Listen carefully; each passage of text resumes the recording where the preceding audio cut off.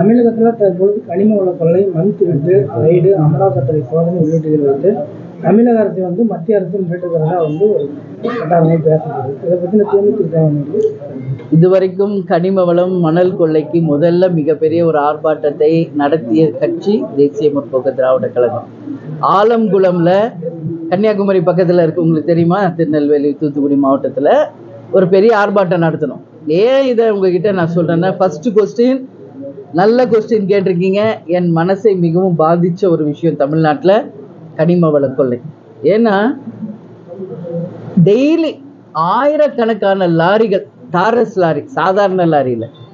கனிம வளம் மணல் கொள்ளை தினம்தோறும் அடிக்கப்பட்டு தினந்தோறும் கேரளாவுக்கு பல ஆயிரக்கணக்கான லாரிகள் மூலம் கடத்திக்கிட்டு இருக்காங்க.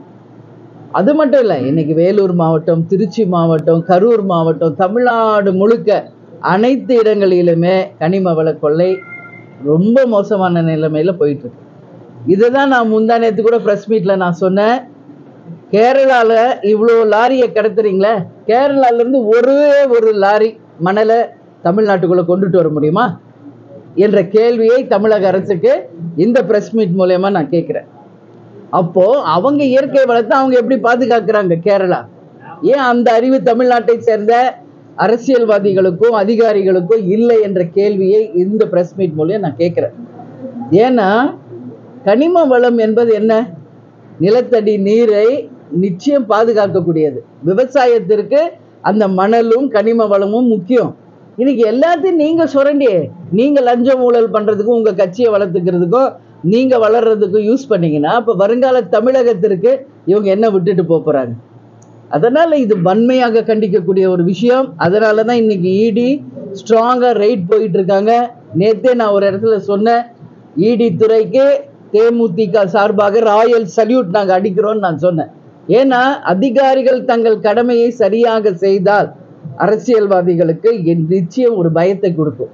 இனி வருங்காலங்களில் அந்த கனிம வள கொள்ளை செய்யக்கூடாது என்ற ஒரு அச்சுறுத்தல் கண்டிப்பாக வரும்.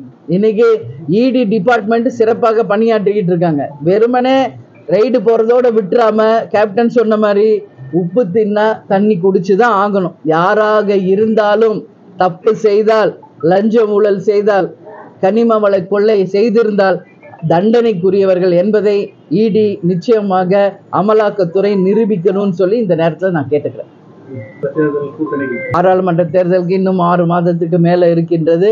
இப்போ எங்களை பொறுத்த வரைக்கும் எங்கள் கட்சியினுடைய எல்லா விதமான உட்கட்சி தேர்தல் முடிச்சாச்சு. வெகு விரைவில் செயற்குழு பொதுக்குழு கூட்டம் இருக்கிறோம். தமிழ்நாடு முழுக்க இன்னைக்கு அங்கீகரிக்கப்பட்ட கட்சியாக தேமுதிக இருக்கிறது.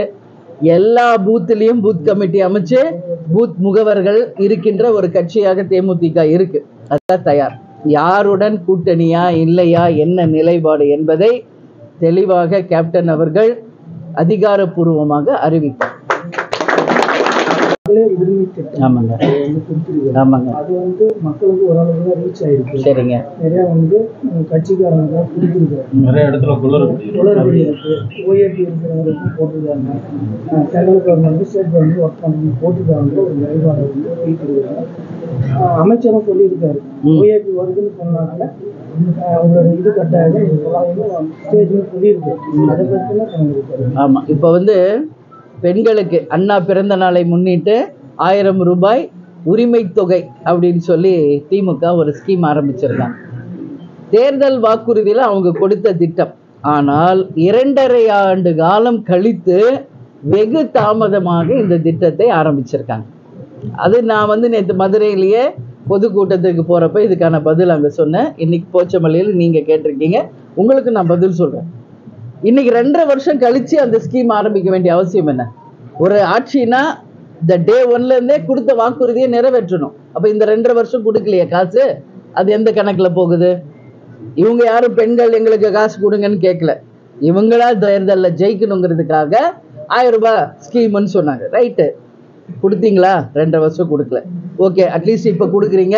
பெண்கள் வரவேற்றால் நானும் வரவேற்கிறேன்னு தான் நான் சொன்னேன். ஆனால் அதை கொடுத்துட்டு எல்லா பக்கமும் அனைத்து வி- விலைவாசியும் உயர்த்திக்கிட்டு இருக்காங்க கவர்மெண்ட் மக்கள் நல்லா புரிஞ்சுக்கங்க. ஏற்கனவே சொத்து வரி உயர்வு மின்கட்டண உயர்வு வெண்ணெய் நெய் உட்பட விலைவாசி உயர்வு பெட்ரோல் டீசல் விலை உயர்வு சிலிண்டர் விலை உயர்வு சுங்க கட்டணத்தில் வரி உயர்வு. புரியுதுங்களா? இன்னும் பல ஸ்கீமு இன்னும் பாருங்க இன்னொரு கொஞ்சம் வெயிட் பண்ணுங்க. என்னென்ன ஸ்கீம்ல எல்லாம் விலைவாசியை இந்த அரசு உயர்த்த போகிறது என்பதை பொறுத்திருந்து பாருங்கள் ஆயிரம் ரூபாய் கொடுத்துட்டாங்கன்னு பெண்கள் வந்து சந்தோஷப்படுறாங்க. இது வந்து விஷத்துக்கு மேல சுகர் கோட்டிங் கொடுத்து சாக்லேட் கொடுக்குற மாதிரி தான் இது புரியுதுங்களா? ஆயிரம் ரூபாவை கொடுத்துட்டு டாஸ்மாக் மூலம் மாசம் நாலாயிரம் அஞ்சாயிரம் திருப்பி வாங்கிக்கிட்டு இருக்காங்க கவர்மெண்ட் எங்கேயாவது வேலை வாய்ப்பு இருக்கா? நானும் பார்த்துக்கிட்டு தான் வரேன். தமிழ்நாடு முழுக்க பிரயாணம் பண்றேன். மக்கள் எல்லாரும் சொல்றது படிச்சுட்டு பிள்ளைங்களுக்கு வேலையே இல்லை. இப்போ ஸ்டாலின் அவர்கள் துபாய் போனார் சிங்கப்பூர் போனார் எவ்வளோ கண்ட்ரீஸ்க்கெல்லாம் போனார். என்ன சொன்னார்? எல்லா தொழில்களையும் கொண்டு வர போகிறோம் இப்போ லட்சக்கணக்கான இளைஞர்களுக்கு வேலை வாய்ப்பை தர சொன்னார். எங்கேயாவது ஒரு இண்டஸ்ட்ரீஸ் வந்திருக்குங்களா? எங்கேயும் இண்டஸ்ட்ரி வரல. நான் என்ன கேட்குறேன் முதலமைச்சர் அவர்களை? ரைட் ஆயிரம் ரூபாய் நீங்க கொடுத்துருக்கீங்க. அது பல குளறுபடி இருக்குன்னு ப்ரெஸ் சொல்றீங்க. அதுவும் அவங்க கட்சிக்காரங்களுக்கு தான் கொடுக்குறாங்கன்ற ஒரு கருத்து இருக்கு. எது எப்படியோ இனி எப்படி வரப்போகுதுன்னு பொறுத்திருந்து நம்ம பார்ப்போம். ஆனா இதை வச்சு நீங்க மற்ற பொருட்கள் வந்து விலைவாசி உயர்த்த கூடாது அதே மாதிரி எல்லாருக்கும் சமமா கொடுங்க. தேர்தலுக்கு முன்னாடி என்ன சொன்னாங்க? எல்லா பெண்களுக்கும் நாங்க தேர்தல் முடிஞ்சு இப்ப என்ன சொல்றாங்க? தகுதி வாய்ந்த பெண்களுக்கு மட்டும்ன்றாங்க. அப்போ ஓட்டு போடுறதுக்கு மட்டும் எந்த தகுதியும் உங்களுக்கு வேணாம். காசு கொடுக்கணும்னா மட்டும் தகுதி பார்த்து கொடுக்குறீங்க. அப்போ எதுக்கு இந்த ஆட்சி? சரி கலைச்சிட்டு வாங்க. மறுபடி இந்த ஆட்சியை கலைச்சிருங்க. வந்து வாக்குறுதி கொடுங்க. தகுதி வாய்ந்த பெண்களுக்கு மட்டும்தான் அப்படின்னு சொல்லிட்டு அப்புறம் ஜெயிச்சு பாருங்க பார்ப்போம் பொய்யான வாக்குறுதிகளை வந்து மக்களுக்கு ஏமாற்றக்கூடாது ஏமாத்தக்கூடாது. ஏற்கனவே கலைஞர் அப்படி தான் சொன்னார். எல்லாருக்கும் ரெண்டு ஏக்கர் நிலத்தை கொடுப்போம் அப்படின்னார். ஒருத்தருக்கும் கொடுக்கல. இந்த மாதிரி ஜெயிக்கிறதுக்கு வந்து அவங்க வாக்குறுதிகளை கொடுக்குறாங்களே காண்டி. மக்களுக்கு அதனால எந்த பலனும் இல்லை. இது வன்மையாக கண்டிக்கக்கூடிய ஒரு விஷயம். அதனால அரசு என்பது எல்லாருக்கும் சமமானதாக இருக்கணும். அறிவித்த ஸ்கீம் வந்து பாகுபாடு இல்லாமல் எந்த குளறுபடி இல்லாம அந்த ஆயிரம் ரூபாய் அனைத்து பெண்களுக்கும் போய் சேரணும்னு நான் கேட்டுக்கிறேன். வந்து அது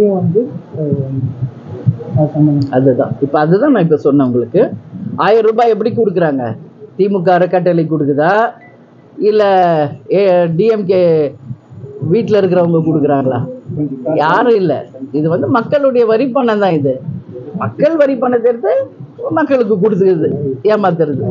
இப்போ பாண்டிச்சேரியில் பாண்டிச்சேரியில் இன்னைக்கு வந்து இரநூறுபா முந்நூறுபா குறைக்க ஏன் தமிழ்நாட்டில் குறைக்கல? அதுதான் இவங்கெல்லாம் ஒன் வே மாதிரி வாங்க தான் தெரியும் எதுவும் திருப்பி மக்களுக்கு செய்ய மாட்டாங்க. அந்த மாதிரி தான் இது. ஒரு பக்கம் விலைவாசி எல்லாத்தையும் உயர்த்திட வேண்டியது அதை வச்சு ஆயிரம் ரூபாய் கொடுக்குறோன்னு சொல்றாங்க. இது நிச்சயமாக கண் துடைப்பு நாடகம் தான். ஒரு படத்துல கூட ஒரு பாட்டு வரும் பாருங்க. ஏன் பணம் பணம் உன் பணம் உன் பணம் ஏன் பணம்னு இப்படி மாத்தி மாத்தி ஒன்று வாங்கிக்கிறது அப்புறம் விலைவாசியை உயர்த்துறது வேற ஒரு ரூபத்துல அது திருப்பி கலெக்ட் பண்றது. இந்த மாதிரி தான் போயிட்டு இருக்குது. இது நிச்சயமாக பலன் அளிக்காது என் உண்மையில் பலன் அளிக்கணுமா போங்க டெல்டா வந்து காஞ்சி போயிடுச்சுங்க. டெல்டா மாவட்டத்துக்குள்ள பாலைவனம் ஆச்சு இன்னைக்கு காவேரியில தண்ணி வாங்கி கொடுக்க வேண்டிய முதலமைச்சர் என்ன பண்ணிக்கிட்டு இருக்காரு? இன்னைக்கு அவங்க கூட்டணி தான் கர்நாடகால காங்கிரஸ். என்ன போய் கேட்டு வாங்குனாங்க? உடனே உச்ச நீதிமன்றத்தை போய் அப்ரோச் பண்றோம். சும்மா இதெல்லாம் கண் துடைப்பு. துரைமுருகன் ஒருத்தர் இருக்காரு. அவர் தான் கனிம வளத்துக்கும் நீர்வளத்துறைக்கும் அமைச்சர். கனிம வள கொள்ளையை பத்தி இப்ப நீங்க என்கிட்ட கேள்வி கேட்டீங்க நான் பதில் சொல்லிட்டேன். அவர்கிட்ட போய் கேளுங்க. அது பத்தி எனக்கு எதுவுமே தெரியாதுப்பா அப்படிங்கிறார். எதுவுமே தெரியாதவர் எதுக்கு ஒரு அமைச்சரா இருக்காரு? இதெல்லாம் ஏமாத்து நாடகம். புரியுதுங்களா? இன்னைக்கு வேலூர் மாவட்டத்துல போய் கேளுங்க. எத்தனை லாரி ம கனிம வளமும் மணல் கொலையும் நடக்குது என்பதை புள்ளி விவரத்தோட மக்கள் சொல்றாங்க. அப்ப எதுவுமே தெரியலன்னு ஒரு அமைச்சர் சொல்றது எப்படி ஏத்துக்க முடியும்? அந்த மாதிரி நிச்சயமாக இந்த ஆயிரம் ரூபாய் இதெல்லாம் கொடுக்கறதுக்கு பதில் டாஸ்மாகை ஒழிங்க லஞ்சம் ஊழலை ஒழிங்க இளைஞர்களுக்கு வேலை வாய்ப்பை கொடுங்க. எல்லா மாவட்டத்திலையும் இண்டஸ்ட்ரீஸ் கொண்டுட்டு வாங்க. பெண்களுக்கு வேலை வாய்ப்பை கொடுங்கள். டாஸ்மாகை ஒழிச்சாலே எல்லா பெண்களும் கையெழுத்து கும்பிடுவாங்க. இதுதான் உண்மை. இன்னைக்கு வந்து இல்லைம்மா கையெல்லாம் தட்டவன். இளம் பெண் இளம் விதவைகள் அதிகமாக இருக்கின்ற மாநிலம் தமிழகம். ஏன்னா அவ்வளோ பேரும் இன்னைக்கு ஒரு பக்கம் டாஸ்மாக் ஒரு பக்கம் கஞ்சா ஒரு பக்கம் போதை. இந்த மாதிரி ஆயிடுச்சு. இன்னைக்கு ஆண்கள் மட்டும் இல்ல பெண்கள் ஸ்டூடெண்ட்ஸு பள்ளிக்கூட குழந்தைகள் வரைக்கும் சாக்லேட் ரூபத்தில் கூட இன்னைக்கு விற்கிறாங்கன்னு கேள்விப்படும் போது உண்மையிலே ரொம்ப ரொம்ப தலை குனிய வேண்டிய ஒரு விஷயம். சட்டம் ஒழுங்கு மிகப்பெரிய ஒரு கேள்விக்குறியா இருக்குது. எப்பவுமே திமுகனாலே ரவுடிசம்னு சொல்லுவாங்க. ஏ பட்ட பகல்ல ரோட்ல வெட்டி சாய்க்கிறாங்க. எல்லா ஊர்லயும் நம்ம கண்கூட பார்த்துக்கிட்டு இருக்கோம் இதை. அப்போ என்ன இருக்குது இங்க? சட்டம் ஒழுங்கு மிகப்பெரிய கேள்விக்குறியா போயிட்டு இருக்கு. கோவை மதுரை சென்னை எல்லா இடத்துலயும் நேற்று கூட ஒருத்தர் என்கவுண்டர் பண்ணியிருக்காங்க. ஸோ இந்த அளவு மோசமா போயிட்டு இருக்குது இதெல்லாம் வந்து இரும்பு கரம் கொண்டு இந்த அரசு கட்டாயம் அடக்கணும்னு சொல்லி இந்த நேரத்தில் கேட்டேன் இந்தியா கூட்டணி அப்படின்றதே முதல்ல தவறு. இந்தியானா என்ன நம்மளுக்கு எல்லாம் தெரிஞ்சது என்ன? எல்லாரையும் கேட்கிறேன். நமது நாட்டினுடைய பெயர். ஒரு வருஷம் இல்ல ரெண்டு வருஷம் இல்ல. எழுபத்தி அஞ்சு வார- வருஷமா சுதந்திரம் வாங்கினதுல இருந்து இந்தியா இந்தியா இந்தியான்னு சொல்லி சொல்லி நம்ம ரத்தத்திலையும் ஒவ்வொருத்தர் செல்லுலையும் ஊறி போன ஒரு விஷயம். ஒரு கண்ட்ரியுடைய பேரை ஒரு கூட்டணியின் பேராக வைப்பதே முதல் தவறு. எவ்வளோ பேர் இருக்கு? எதை? வேற பேர் வைங்க. எதுக்கு நாட்டின் பெயரை வைக்கிறீங்க? பாரத பிரதமர் வந்து இந்தியான்ற பேரை மாத்திட்டு பாரத் அது அது அடுத்து அதுக்கு வரேன் ஃபர்ஸ்ட் இப்போ இந்தியா பத்தி கேட்டார் அது நான் சொல்லிடுறேன். ஸோ இந்தியான்ற முதல் கூட்டணிக்கு பேர் வைப்பதே தவறு. நான் தேர்தல் ஆணையரை கேட்டுக்கிறது இதுதான். தயவு செஞ்சுக்க அதுக்கு நீங்க அங்கீகாரம் கொடுக்க கூடாது. இந்தியா கூட்டணிக்கு தேர்தல் கமிஷன் அங்கீகாரம் தரக்கூடாது. வேற பேர் வைக்க சொல்லி சொல்லும். ஏன்னா இது கன்ஃபியூஷன் வரும் நாளைக்கு. கூட்டணி பேரா நாட்டு பேரான்னு வெளி எல்லா ஊர் பக்கமும் இன்னைக்கு வெளிநாட்டுல எல்லாம் நம்ம போனா கூட இது நிச்சயம் கன்ஃபியூஷன் தான் கொடுக்கும். இது தவறான ஒரு முன்னுதாரணம். சரி இது ஒரு பக்கம் இருக்கிறப்போ பா இவங்க இந்தியான்னு வச்சா அவர் பாரதம்னு மாத்துறாருன்றாங்க. அது அதை வேற முட்டாள்தனமான ஒரு விஷயம். அதே தான் இங்க. இந்தியா இந்தியான்னு சொல்லிட்டோம். இனிமே பாரதம் யாராவது சொல்ல முடியுமா? நம்மளால வருமா முதல்ல நம்மளுக்கு வாயில? ஒரு குழந்தைக்கே பேர் வைக்கிறோன்னு வைங்க. அந்த குழந்தைய ஒரு ரெண்டு வருஷம் கழிச்சு நியூமராலஜி படியோ இல்லை ஜாதக படியோ யாரோ பெரியவங்க பேர் மாத்தி வைக்கிறாங்கன்னு வைங்க. கூப்பிட்டு பாருங்க அந்த குழந்தை திரும்பி பார்க்குதான்னு. திரும்பாது. ஏன்னா அது மைண்ட்ல பதிஞ்சிடும் ஓ இதுதான் நம்ம பேரு அப்போ இத்தனை கோடி மக்கள் வாழ்கின்ற இந்திய பூமியில இவ்வளவு வருஷம் இந்தியா இந்தியா இந்தியான்னு சொல்லிட்டு இப்ப பாரதம்னு சொல்லுன்னா எப்படி சொல்ல முடியும்? நிச்சயம் யாரும் சொல்ல மாட்டாங்க. இதை தான் நான் முன்னையே சொன்னேன். கலைஞர் என்ன பண்ணுவார் தெரியுங்களா? சென்னை வந்து மதராசப்பட்டினம். ஃபர்ஸ்ட் அது பேரு. அப்புறம் அவர் சென்னைன்னு அதை மாத்தினாரு. இப்ப தமிழ்நாடுன்றத நம்ம மா மாநிலத்தோட அந்த தமிழகம்ங்கிறாங்க.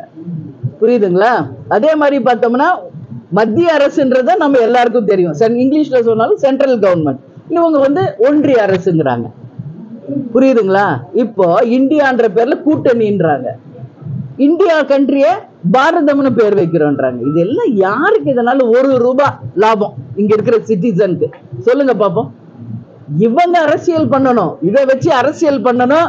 அடுத்த இவங்க நடத்துற அரசியல் எல்லாமே எப்படி தெரியுங்களா? அடுத்த தேர்தலுக்கான அரசியல் தானே ஒழிய அடுத்த தலைமுறைக்கான அரசியலை யாரும் கையில எடுக்கல என்பதை தேமுதிக சார்பா நான் வன்மையா கண்டிக்கிறேன்.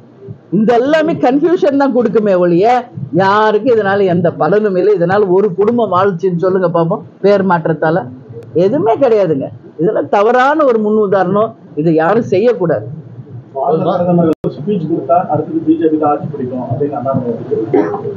அது அவங்க கட்சி அவங்க அப்படிதான் சொல்லுவாங்க.